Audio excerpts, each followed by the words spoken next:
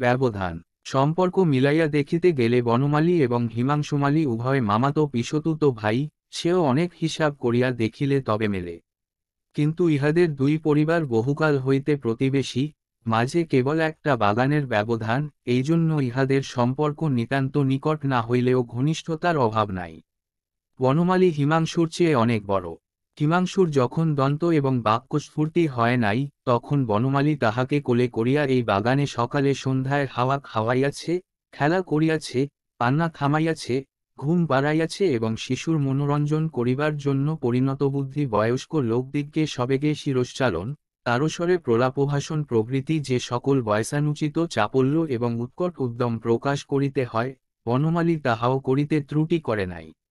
বনমালী লেখাপড়া বড় একটা কিছু করে নাই। তাহার বাগানের শখ ছিল এবং এই দূরসম্পর্কের ছোট ভাইটি ছিল। ইহাকে খুব একটি দুর্লভ দুর্মূল্য লতার মতো বনমালী হৃদয়ের সমস্ত স্নেহসিঞ্চন করিয়া পালন করিতেছিল এবং সে যখন তাহার সমস্ত অন্তর্বাহিরকে আচ্ছন্ন করিয়া লতাইয়া উঠিতে লাগিল, তখন বনমালী আপনাকে ধন্য জ্ঞান করিল। এমন সচরাচর দেখা যায় না কিন্তু এক একটি স্বভাব আছে যে একটি ছোট খেয়াল কিংবা একটি ছোট শিশু কিংবা একটি অকৃতজ্ঞ বন্ধুর নিকটে অতি সহজে আপনাকে সম্পূর্ণ বিসর্জন করে, এই বিপুল পৃথিবীতে একটিমাত্র ছোট স্নেহের কারবারে জীবনের সমস্ত মূলধন সমর্পণ করিয়া নিশ্চিন্ত থাকে, তারপরে হয়তো সামান্য উপসত্ত্বে পরম সন্তোষে জীবন কাটাইয়া দেয় কিংবা সহসা একদিন প্রভাতে সমস্ত ঘরবাড়ি বিক্রয় করিয়া কাঙাল হইয়া পথে গিয়া দাঁড়ায়। হিমাংশুর বয়স যখন আর একটু বাড়িল, তখন বয়স এবং সম্পর্কের বিস্তর তারতম্য সত্ত্বেও বনমালীর সহিত তাহার যেন একটি বন্ধুত্বের বন্ধন স্থাপিত হইল। উভয়ের মধ্যে যেন ছোট বড় কিছু ছিল না। এইরূপ হইবার একটু কারণও ছিল। হিমাংশু লেখাপড়া করিত এবং স্বভাবতই তাহার জ্ঞানস্পৃহা অত্যন্ত প্রবল ছিল। বই পাইলেই পড়িতে বসিত, তাহাতে অনেক বাজে বই পড়া হইয়াছিল বটে, কিন্তু যেমন করিয়াই হোক চারিদিকেই তাহার মনের একটি পরিণতিসাধন হইয়াছিল বনমালী বিশেষ একটু শ্রদ্ধার সহিত তাহার কথা শুনিত, তাহার পরামর্শ লইত, তাহার সহিত ছোট বড় সকল কথার আলোচনা করিত, কোনো বিষয়েই তাহাকে বালক বলিয়া অগ্রাহ্য করিত না। হৃদয়ের সর্বপ্রথম স্নেহর্স দিয়া যাহাকে মানুষ করা গিয়াছে, বয়সকালে যদি সে বুদ্ধি, জ্ঞান এবং উন্নত স্বভাবের জন্য শ্রদ্ধার অধিকারী হয় তবে তাহার মতো এমন পরমপ্রিয় বস্তু পৃথিবীতে আর পাওয়া যায় না। বাগানের শখও হিমাংশুর ছিল, কিন্তু এ বিষয়ে দুই বন্ধুর মধ্যে প্রভেদ ছিল।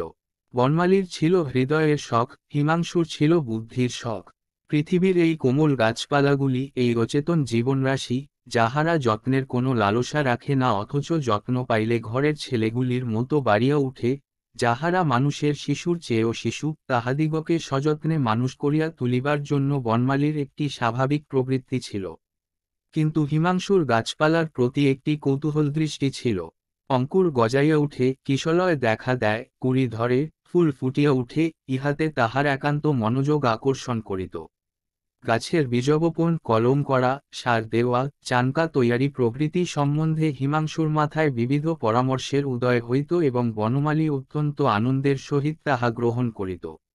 এই উদ্যানখণ্ডটুকু লইয়া আকৃতি প্রকৃতির যত প্রকার সংযোগ বিয়োগ সম্ভব, তাহা উভয় মিলিয়া সাধন করিত। দ্বারের সম্মুখে বাগানের উপরে একটি বাঁধানো বেদির মতো ছিল। চারটে বাজিলেই একটি পাতলা জামা পরিয়া, একটি কোচানো চাদর কাঁধের উপর ফেলিয়া বুলবুলির লইয়া, বনমালী সেইখানে ছায়ায় গিয়া বসিত। কোনো বন্ধুবান্ধব নাই, হাতে একখানি বই কিংবা খবরের কাগজ নাই। বসিয়া বসিয়া তামাক টানিত এবং আর চোখে উদাসীনভাবে কখনো বা দক্ষিণে কখনো বামে দৃষ্টিপাত করিত। এমনি করিয়া সময় তাহার গুড়গুড়ির বাষ্পকুণ্ডলীর মতো ধীরে ধীরে অত্যন্ত লঘুভাবে উড়িয়া যাইত, ভাঙিয়া যাইত, মিলাইয়া যাইত, কোথাও কোনো চিহ্ন রাখিত না। অবশেষে যখন হিমাংশু স্কুল হইতে ফিরিয়া জল খাইয়া হাতমুখ ধুইয়া দেখা দিত, তখন তাড়াতাড়ি গুড়গুড়ির নল ফেলিয়া বনমালী উঠিয়া পড়িত। তখনই তাহার আগ্রহ দেখিয়া বুঝা যাইত, এতক্ষণ ধৈর্য সহকারে সে কাহার প্রত্যাশায় বসিয়াছিল তাহার পরে দুইজনে বাগানে বেড়াইতে বেড়াইতে কথা।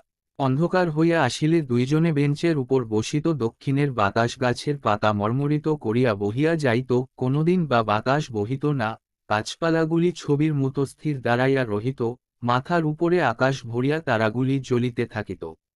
কিমাংশু কথা কহিত, বনমালী চুপ করিয়া শুনিত। যাহা বুঝিত না, তাহাও তাহার ভালো লাগিত, যে সকল কথা আর কাহারও নিকট হইতে অত্যন্ত বিরক্তিজনক লাগিতে পারিত, সেই কথাই হিমাংশুর মুখে বড় কৌতুকের মনে হইত। এমন শ্রদ্ধাবান বয়স্ক শ্রোতা পাইয়া হিমাংশুর বক্তৃতাশক্তি, স্মৃতিশক্তি, কল্পনাশক্তির সবিশেষ পরিতৃপ্তি লাভ হইত।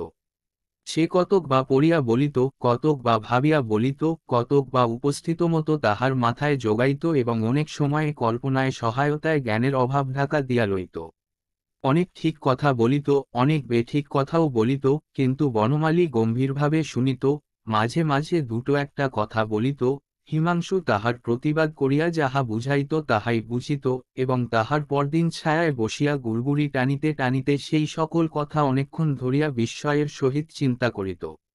ইতিমধ্যে এক গোল বাঁধিল। বনমালীদের বাগান এবং হিমাংশুদের বাড়ির মাঝখানে জল যাইবার একটি নালা আছে। সেই নালার এক জায়গায় একটি পাতিনেবুর গাছ জন্মিয়াছে।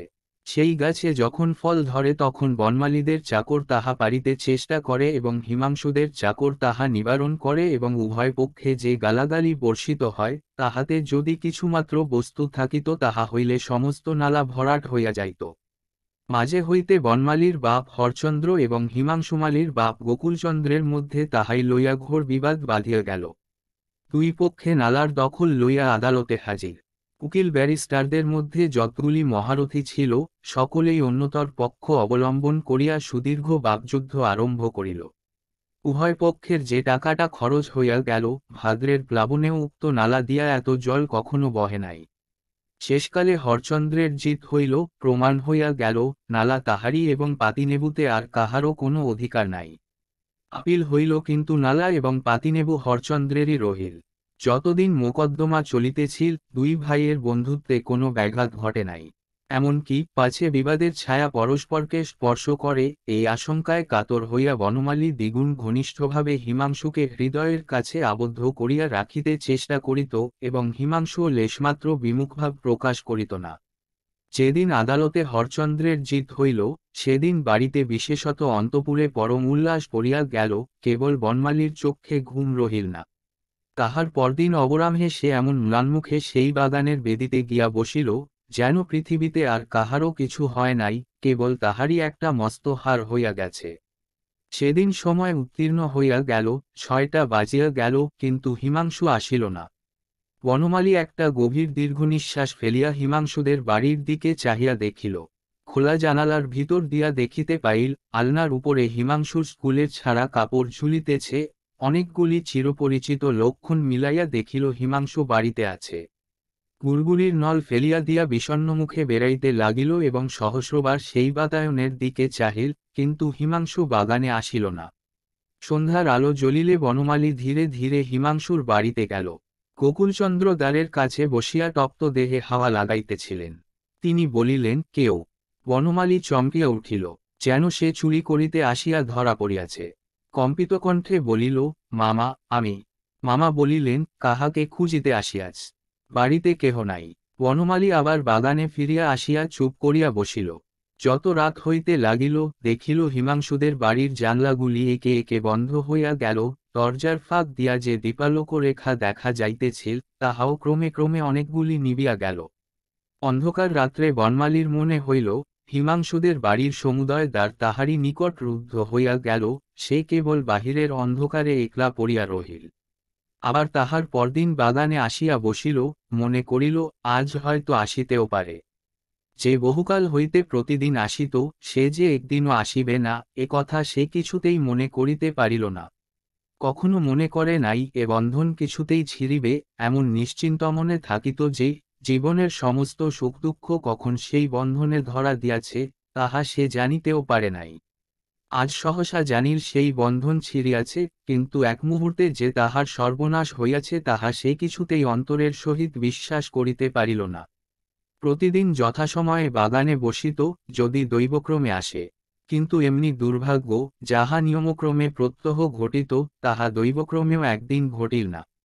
রবিবার দিনে ভাবিল, পূর্বনিয়ম মতো আজও হিমাংশু সকালে আমাদের এখানে খাইতে আসিবে। ঠিক যে বিশ্বাস করিল তাহা নয়, কিন্তু তবু আশা ছাড়িতে পারিল না। সকাল আসিল, সে আসিল না। তখন বনমালী বলিল, তবে আহার করিয়া আসিবে। আহার করিয়া আসিল না বনমালী ভাবিল, আজ বোধ হয় আহার করিয়া ঘুমাইতেছে।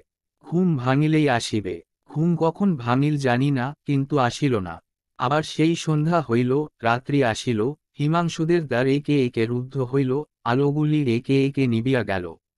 এমনি করিয়া সোমবার হইতে রবিবার পর্যন্ত সপ্তাহের সাতটা দিনই যখন দুর্দৃষ্ট তাহার হাত হইতে কারিয়া লইল, আশাকে আশ্রয় দিবার জন্য যখন আর একটা দিনও বাকি রইল না, তখন হিমাংশুদের রুদ্ধদ্বার অট্টালিকার দিকে তাহার অশ্রুপূর্ণ দুটি কাতর চক্ষু বড় একটা মর্মভেদী অভিমানের নালিশ পাঠাইয়া দিল এবং জীবনের সমস্ত বেদনাকে একটিমাত্র আর্তস্বরের মধ্যে সংহত করিয়া বলিল Доямы.